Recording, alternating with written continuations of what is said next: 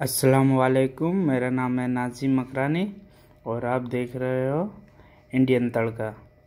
आज हम लोग बनाएँगे मेरी फेवरेट डिश, कश्मीरी रोगन गोश सबसे पहले हम लोग कढ़ाई में तेल डालेंगे। और अब डालेंगे खड़ा मसाला, उसमें तेज पत्ता छोटी इलायची, दालचीनी, बड़ी इलायची और जीरा। उसके बाद चार से प्याज प्याज काट के स्लाइस प्याज काट के उसमें डालेंगे और उसको अच्छे से मिलाएँगे, उसको लाल होने लाल होने तक। और उसको एकदम लाल नहीं करना है, जिससे कि अगर लाल हो जाएगा तो फिर वो कड़वापन आ जाएगा। थोड़ा हल्का सा लाल करना है उसको। हल्का सा कलर आ जाएगा ब्राउन, जब तक ही करना है।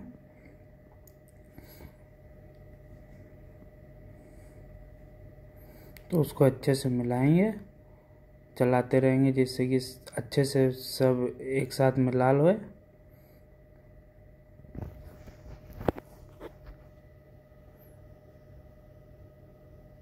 यह मेरी फेवरेट डिश है और आप भी इस पे, इसको घर पे बना के ट्राई कर सकते हैं। ये बहुत ही स्वाददार है डिश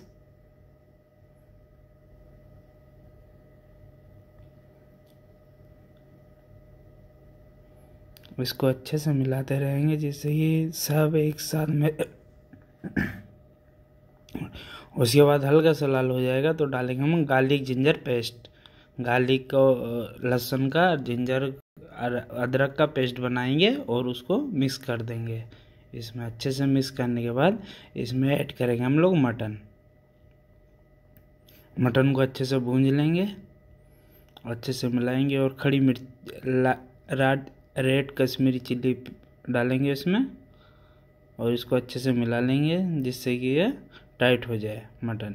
और हल्दी डालेंगे इसमें कलर आने के लिए और इसको अच्छे से मिलाएँगे।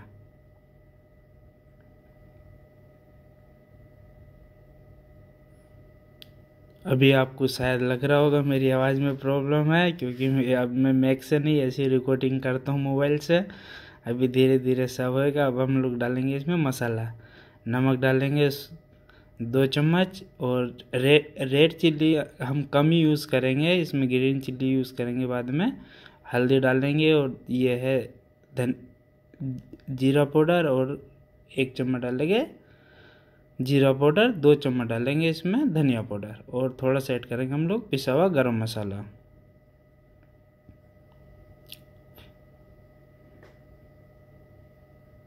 इसको अच्छे से मिलाएँगे। और इसमें थोड़ा सा पानी हम लोग ऐड करेंगे जिससे कि हमारा जो मसाला अच्छे से भुन जाए। जो मसाले की स्मेल है, वो ना आए इसमें। और ये चार से पाँच टमाटर काट रखे हैं स्लाइस अब इसमें चार से पाँच टमाटर मिलाएँगे हम लोग इसे। इसको अच्छे से मिलाते इसको अच्छे से मिलाते रहना जिससे कि मटन में इसका मसाला मिक्स हो जाए।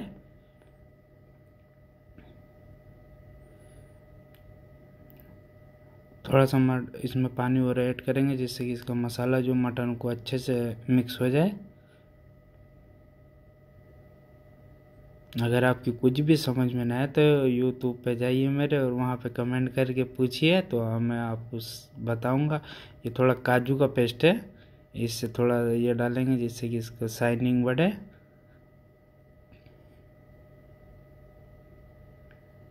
काजू के पेस्ट से ना इसमें शाइनिंग अच्छा आता है अच्छा खुशबू टेस्ट अच्छा आता है। एक बार ज़रूर ट्राई करिएगा। बहुत अच्छी डिश है, मेरी फेवरेट डिश है। रेस्टोरेंट की डिश है ये, कश्मीरी रोगन गोश्त।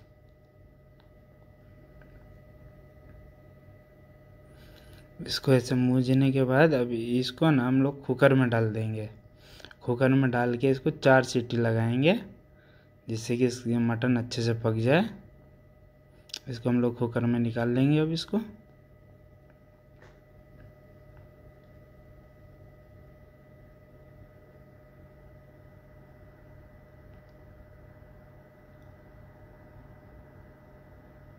आपको अगर कुछ भी समझ में ना आए वीडियो में तो आप मेरे को कमेंट करिए यूट्यूब पे जाके और मैं आपका जवाब दूँगा।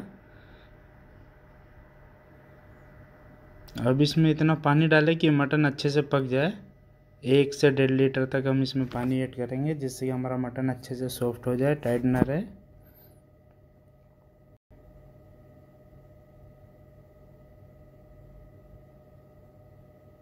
और इसको चार चार से पाँच सीटी लगाएँगे, क्योंकि मैं साउथ अफ्रीका में हूँ तो यहाँ का मटन थोड़ा सॉफ्ट होता है तो चार सीटी में हो जाता है, इंडिया में पाँच छः सीटी लेता है ये।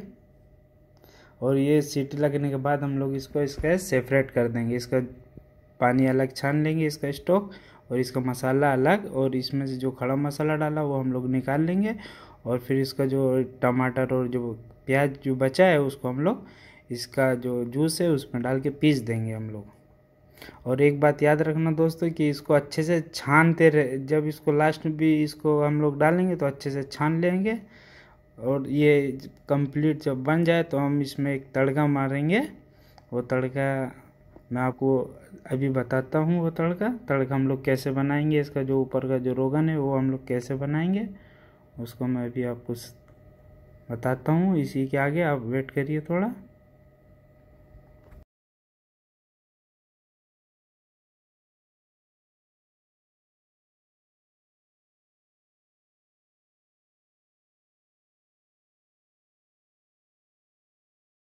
अब हम इसका रोगन बनाएँगे, इसमें पहले डालेंगे देसी घी, फिर एक चम्मच रेड चिल्ली पाउडर हाफ़ चम्मच डालेंगे इसमें कस्तूरी मेथी और थोड़ा सा डालेंगे कटा हुआ कोतमीर। और इसको थोड़ा सा गर्म करके ज़्यादा नहीं करना, जिससे कि कड़वापन आ जाता है, इसको ज़्यादा करने से और इसके ऊपर डाल देंगे।